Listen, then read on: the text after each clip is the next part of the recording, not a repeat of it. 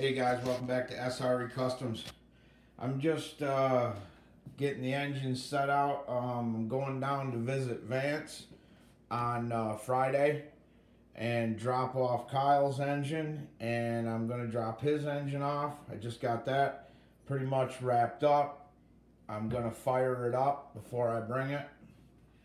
Kyle, I uh, I threw in, I had a Vertigo uh, 22 tooth for you. I threw that in there, bro. Your pipe's in there, your linkage is in there. The recoil that instantly exploded was in there. So I think we're all set. Okay, guys, just a quick video. Uh, talk to you guys later.